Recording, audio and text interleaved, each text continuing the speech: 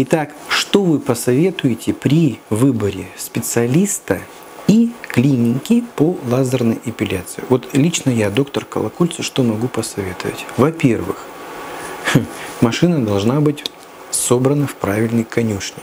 То есть, вот если мы говорим про гоночные машины, да, допустим, штучный подход, то есть это должен быть хороший лазер, который должен был заточен только, должен быть заточен только на эпиляции.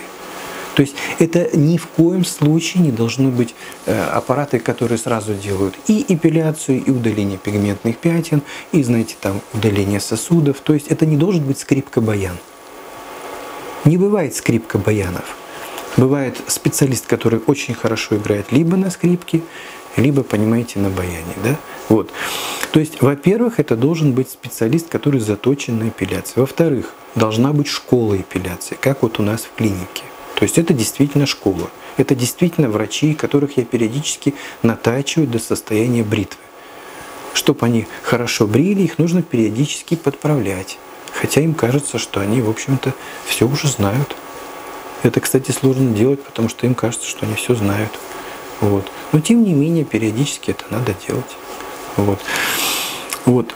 Что могу вам сказать еще? Из всех лазеров, которые присутствуют на рынке, эффективно удаляют волосы только два типа. Это диодный и александритовый лазеры. Диодные лазеры имеют длинный импульс, то есть это обычная лампочка. Чем она дольше по времени включена, тем она больше мощности вколачивает в, э, в тело организма. И александрит. Александрит, он всегда имеет определенную длину импульса. То есть это бывает либо 3 миллисекунды, либо 2, либо 5 миллисекунд.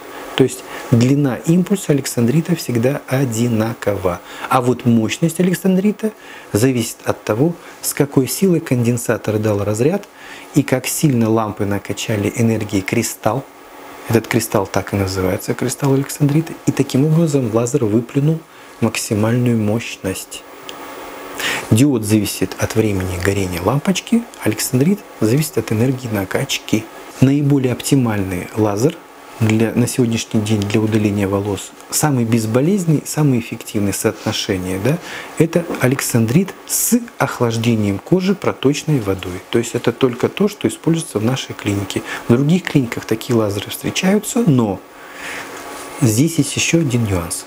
Мало того, чтобы была хорошая машина, нужно, чтобы был хороший водитель этой машины. То есть прокладка между рулем и сиденьем должна быть соответствующая. Водитель. То есть должна в клинике быть школа, школа эпиляции. В этом случае вы получите то, что вы хотите. Максимально безболезненную, максимально хорошую эпиляцию навсегда.